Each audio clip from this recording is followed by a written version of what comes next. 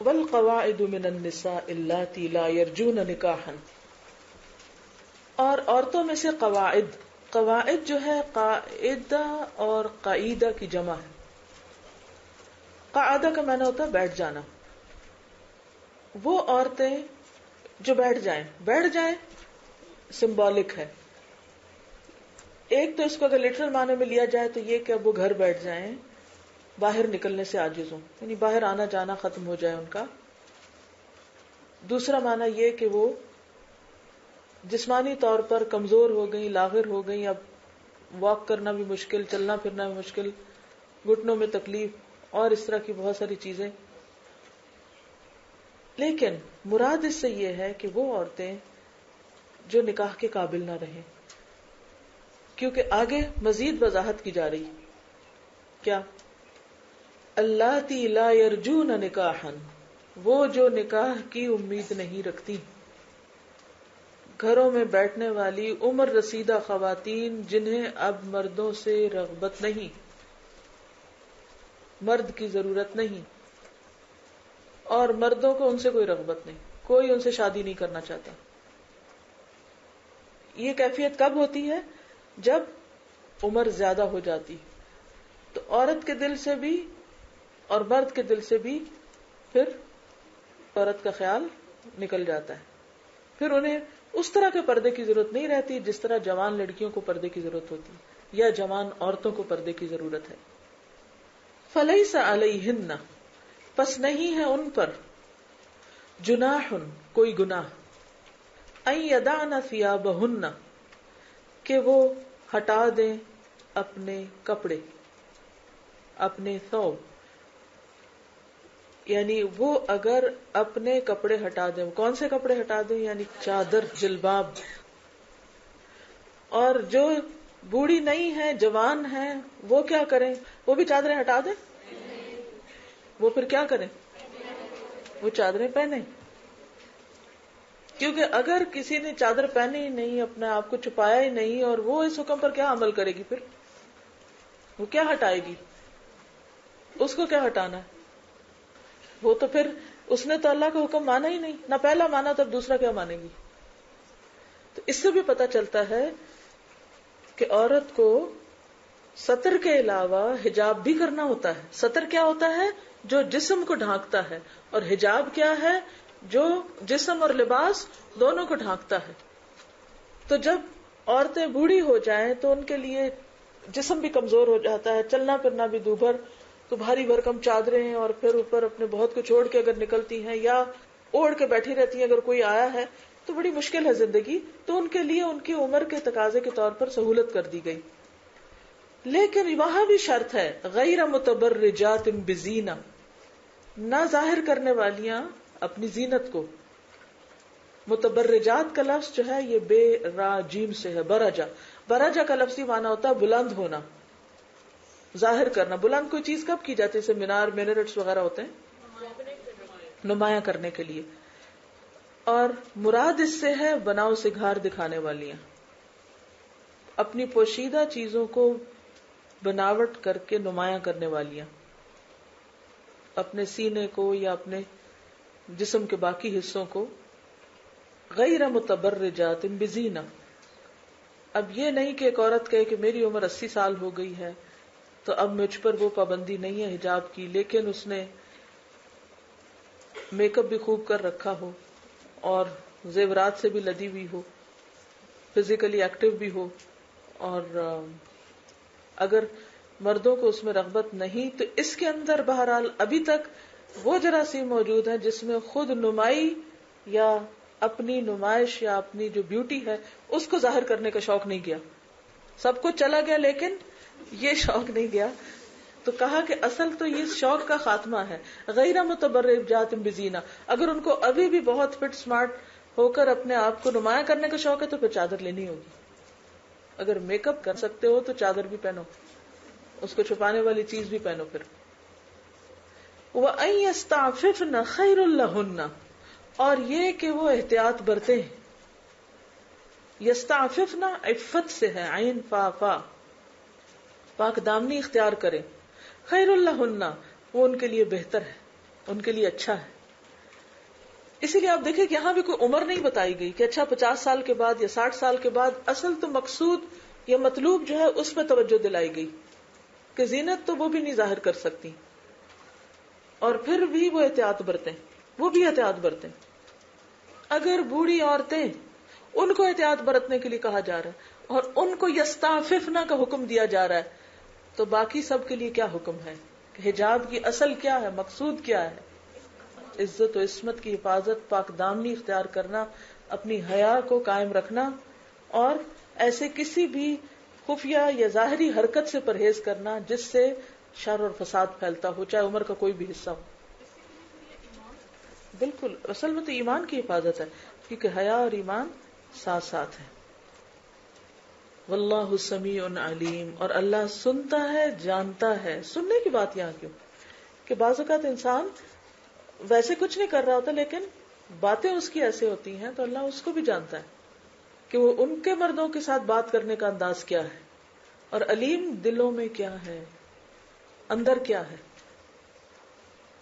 तो मामला अल्लाह के साथ है, चाहे कोई बूढ़ा है या जवान है। फिर यहाँ पर अगली आयत में मजीद कुछ माशरती आदाब बताए गए, जो खाने पीने से मुतलिक है, दावतों और पार्टियों से मुतलिक कई लड़के ऐसे कहते हैं ना कि हमने फला आंटी को बचपन में देखा था, वो पर्दा करें भी तो हमें शक्ल याद है।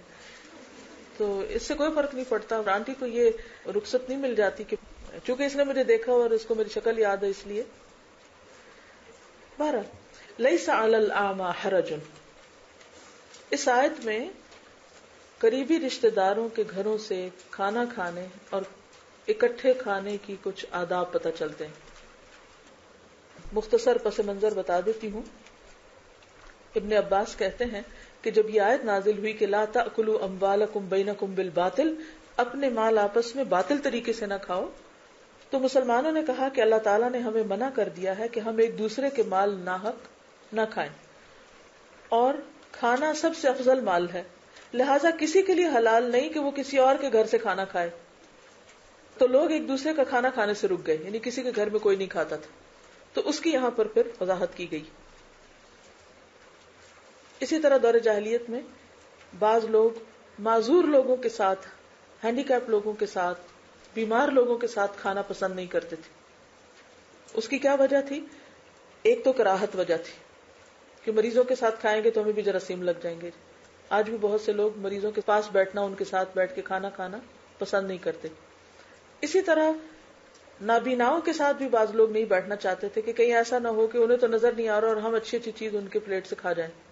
तो कहीं ऐसा ना हो कि हम उनका खाना नाजायज तरीके से, बातिल तरीके से खाएँ। इसी तरह यह है कि बाज अरब ऐसे थे खसूस बनू के नाना के लोग, के वो अकेले खाना नहीं खाते थे। अगर उनमें से किसी को भूख लगती और कोई आसपास ना होता तो ऊँट पे बैठ के, जाके ढूंढ के किसी को लाते और उनके साथ खाना खाते। हज़रत इब्राहिम सलाम के बारे में भी आता है ना कि वो अकेले नहीं खाते थे, इंतज़ार करते थे कि कोई आए तो फिर खाना खाए। तो इस तरह की बहुत सी चीज़ों की इसलाह यहाँ पर इस आयत में की गई है।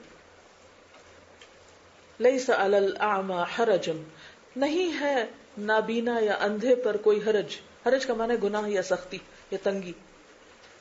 कोई तंगी नहीं। वला अलल आरज हरज, और न किसी लंगड़े पर कोई हरज, जिसकी टांग में तकलीफ़ है चल नहीं सकता दुरुस्त तरीके से। वला अलल मरीज़ हरज, और न किसी मरीज़ पर कोई हरज। और माजूरों के अलावा वला अला अनफुसिकुम, और तुम पर भी कोई हरज नहीं। यानी किसी के लिए कोई मुश्किल नहीं, गुनाह की बात नहीं। क्या गुनाह की बात नहीं? अंत कुलू के तुम खा लो। मिम अपने घरों से। अपने घर से मुराद, अपना घर या बच्चों का घर है, औलाद का घर। औ बुयूति आबाइकुम, या अपने बापों के घर से, नाना दादा के घर से। औ बुयूति उम्माहातिकुम, या अपनी माओ के घर से, यानी पेरेंट्स के घर से, नानी दादी भी उसमें आती हैं। और बुयूत इखवानिकुम, या अपने भाइयों के घर से, सगे सुतेले दोनों। और बुयूत अखवातिकुम या बहनों के घर से। हमारे यहाँ तो माइंड किया जाता है कि बहन के घर से तो पानी भी नहीं पी सकते, या बेटी के घर से नहीं खा सकते। और बुयूत आमामिकुम या अपने चचाओं के घर से। आमाम किसकी जमा है? अम की। औ बुयूत अम्मातिकुम या अपने पुपियों के घर से। औ बुयूत अखवालिकुम या अपने मामुओं के घर से। औ बुयूत खालातिकुम, या अपनी खालाओं के घर से। औ मामलक तुम मफातिहा हो या जो तुम मालिक बने उनकी कुंजियों के, या जिनकी चाबियाँ तुम्हारे पास है, तुम उनके मुंतजिम हो। औ सदीकुम या अपने दोस्त के घर से। अब सभी आ गए, करीबी रिश्तेदार भी आ गए और दोस्त अहबाब भी आ गए। लईसा अलैकुम जुनाहुन, तुम पर कोई गुनाह नहीं। अंता कुलू जमीअन, कि तुम सब मिलके खाओ। औ अश्ताता, या अलग अलग क्योंकि दौरे जाहलियत में बाज कबीले इसको आर समझते थे कि इकट्ठे खाएँ, और बाज इसको आर समझते थे कि अकेले अकेले खाएँ। कहा दोनों तरह ही जायज़ है। क्योंकि बाजुकत इकट्ठे हो सकते हैं, बाजुकत नहीं हो सकते। लेकिन इजा दखल तुम बुयूतन, जब तुम घरों में दाखिल हो फसलमु अला अनफुसिकुम। तो सलाम करो अपने नफ्सों पर। क्योंकि जब इंसान किसी को सलाम करता है तो क्या होता है? जवाब मिलता है तो गोया खुद को सलाम कर रहा है। और इसी तरह जब अपने रिश्तेदारों के घर जाओ तो उनको भी सलाम करो। वो भी तुम्हारे अपने हैं। अनफुसिकुम में आ जाते हैं एक तरह से। कहते हैं ना, वो अपने ही है। तहियत मिनदिल्ला ये सलाम है अल्लाह की तरफ़ से। आदम सलाम को हुक्म मिला था ना, अल्लाह ने हुक्म दिया था। कि जाओ उस जमात को, जो फरिश्तों की थी, सलाम करो। और अगर कोई घर में ना भी हो तो भी, अस्सलाम वाला इबादिल्लाह और अगर कोई मस्जिद में दाखिल हो रहा तो क्या दुआ है मस्जिद में दाखिल होने की? अल्लाह मफ्ताली अब्बाब रहमत का और बिस्मिल्लाह वसलात वसलाम रसूलुल्लाह, यानी मस्जिद में। अल्लाह का घर है, लेकिन उस वक्त नबी सल्लल्लाहु अलैहि वसल्लम पर दुरूद भेजते हैं, सलाम भेजते हैं। तहियतम इंदिल्लाहि मुबारकतम तय्यबा। अल्लाह की तरफ़ से मुबारक और तय्यब, पाकिजा सलाम है, बरकत वाला सलाम है। यानी बेहतरीन चीज़ है। कजाल का युबैनकुमलायात इसी तरह अल्लाह बयान करता है तुम्हारे लिए आयात। लाकुम ताकिलून, ताकि तुम अकल से काम लो, मैनरफुल ज़िंदगी गुजारो समझ बूझ से काम लो। इंतहा पसंदी इख्तियार न करो एतदाल में रहो। तो इस आयत से किन अहकाम का पता चलता? है नंबर एक, माजूर के साथ खाने से नफरत मत करो। क्यों? अगर आप देखिए कि अगर कोई शख्स माजूर हो जाए, कोई व्हील चेयर पे है, कोई देख नहीं पा रहा, कोई बीमार हो गया है तो आमतौर पर तर्ज अमल क्या होता है? कि जब आप किसी जगह खाने पे जाते हैं, किसी को विज़िट करने जाते हैं तो उनको कहाँ छोड़ जाते हैं? उन्हें कहते तुम घर रहो, तुम बीमार हो, तुम चल नहीं सकते, तुम देख नहीं सकते, तुमने क्या देखना? इधर ही रहो। इस तरह इन लोगों की ज़िंदगी क्या होती है? आइसोलेट होकर रह जाती। वो पहले महरूम होते हैं, उन्हें और महरूम कर दिया जाता है। तो इससे ये पता चलता है कि वो अपने घर के अलावा ये सारे रिश्तेदारों के घरों में जा सकते हैं। और वहाँ पर खाना भी खा सकते हैं।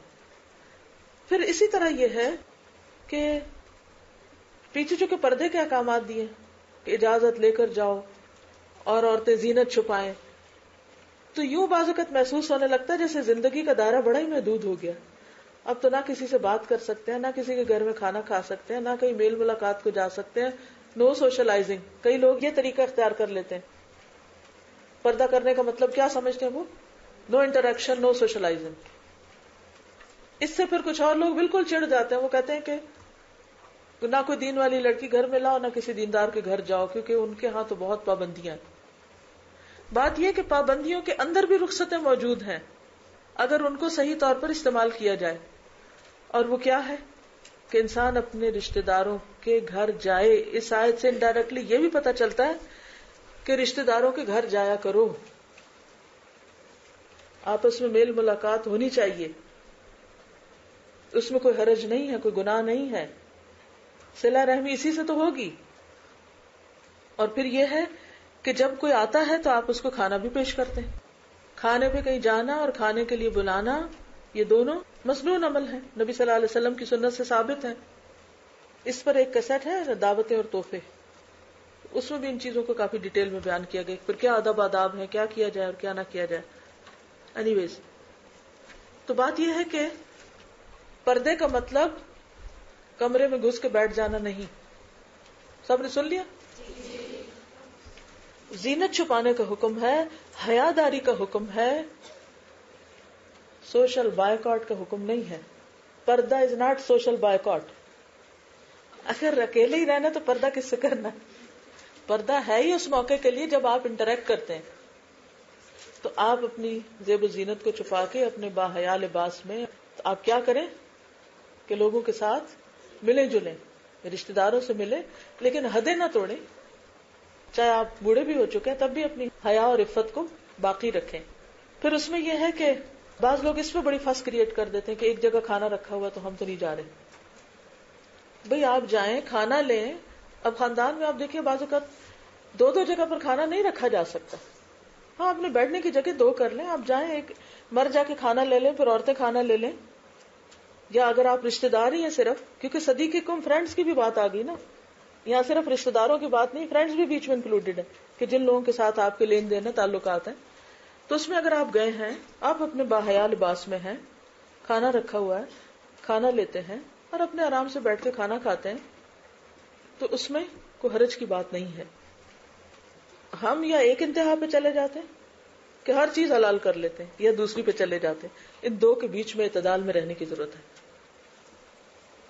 चचा के घर में तो ज़ाहिर है चचा होंगे, लेकिन हो सकता है चचा के बेटे भी हों। पुप्पी के घर में पुप्पा भी होंगे हम्म? खाला के घर में खालू भी होंगे, ठीक है? सदी के कम में ज़ाहिर है कि अगर शौहर के दोस्त हैं तो आपके तो महरम नहीं है। तो ऐसी सूरत में जब ये कहा गया कि अलैकुम जुनाहुन अंताकुलू ज़मीन और अश्ताता, इसका ये मतलब नहीं कि कोई लड़की किसी के साथ जाके बैठ जाए, कोई कहीं बैठ जाए तो वो सारी हदूद तोड़ दी जाए क्योंकि हमें दावत में आने का मौका मिल गया है। इसमें यह है कि आप जा सकते हैं, मिलकर रिश्तेदार खाना खा सकते हैं, लेकिन अपनी हदूद को बाकी रखते हुए। इजा दखल तुम बयूतन फसलम अनफुसिकुम। सलाम की खास तौर पर ताकीद की जा रही है यहाँ पर। एक तो वो जो दाखिल होते वक्त इस्तीजान की बात थी ना, सलाम, इस्तीजान के जो अहकाम थे उसके हिसाब से। दूसरा यहाँ मजीद कहा गया, मुबारक और तैयब है, इससे घरों में बरकत होती। फिर यह भी है कि बाज अपने घर दाखिल होते हुए लोग नहीं सलाम करते। सबको सलाम करेंगे बीवी बच्चों को ज़रूरत नहीं महसूस करते। तो ये क्या कहा?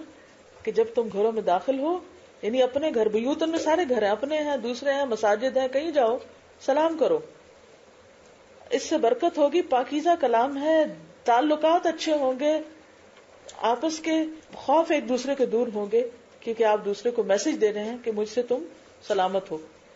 अब मुसलमान की पहचान है मनसलम मुस्लिम ही वो यदि ही कजाल का इस तरह इस तरीके पर जैसे अल्लाह ने वाजे किया इसी तरह अल्लाह ताला सारे अहकाम वाजे करता रहता है, ताकि लोग अमल कर सके।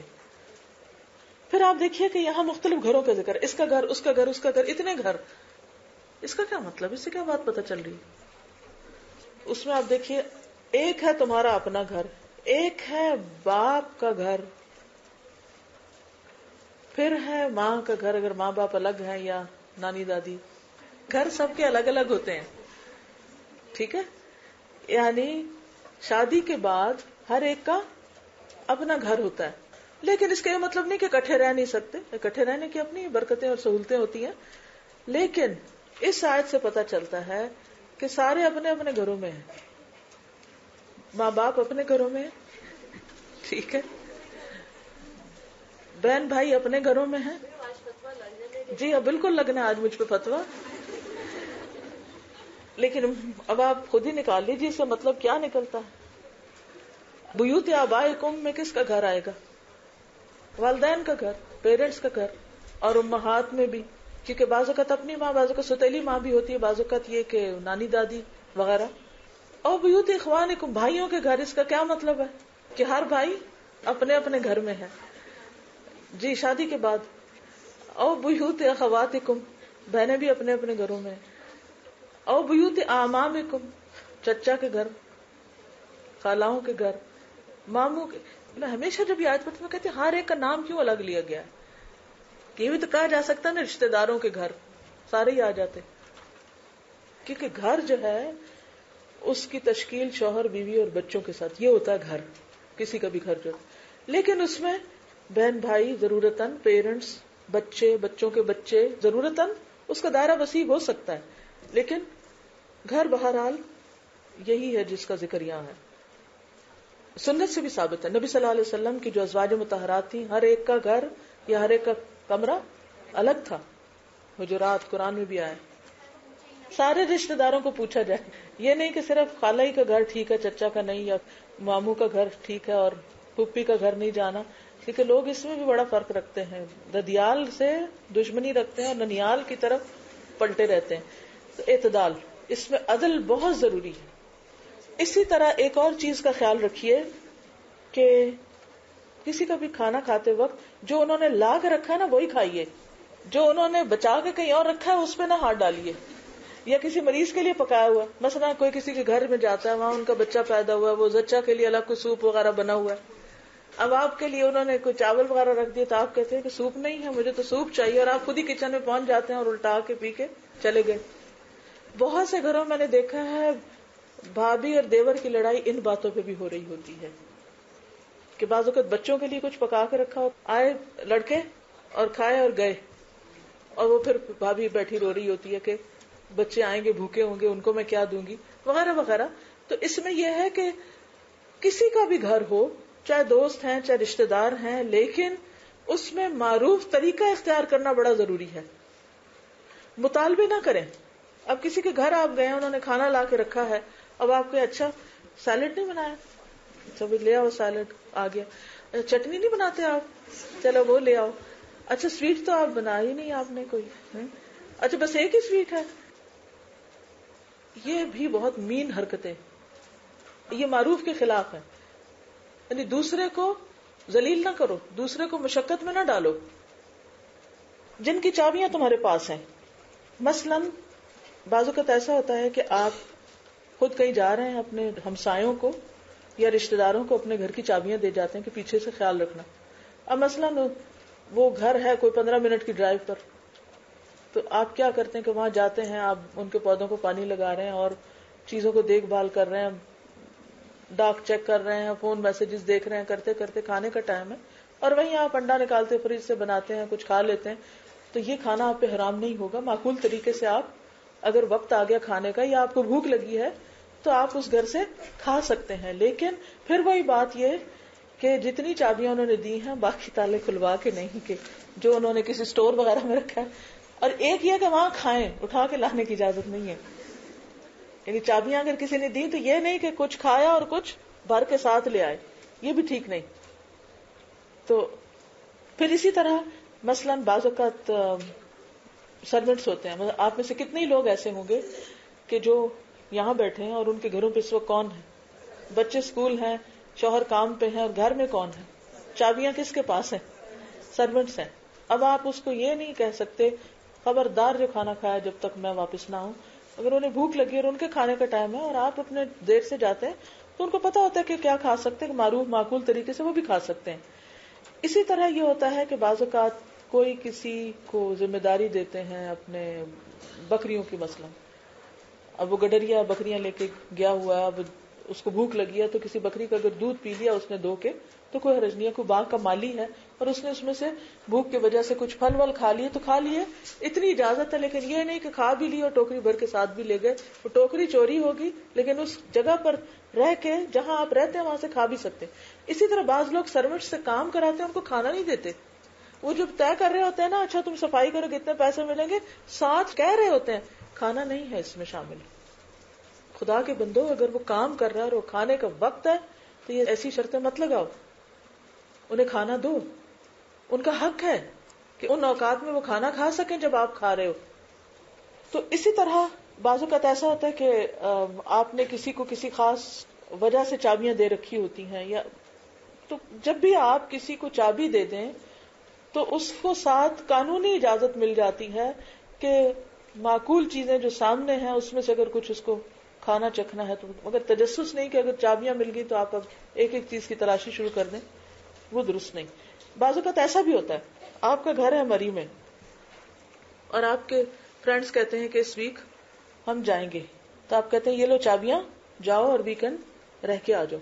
अब वहाँ सर्वेंट्स भी हैं, खाना भी पक रहा है किचन भी है फ्रिज भी है, चीज़ें हैं खाने पीने की तो उसूली तौर पर इतनी आपको इजाज़त है कि जो वक्त वहाँ पर आ रहा है, उस वक्त का खाना वहाँ पका या पकवा के खा लें और बर्तन धो के घर साफ़ करके वापस आए।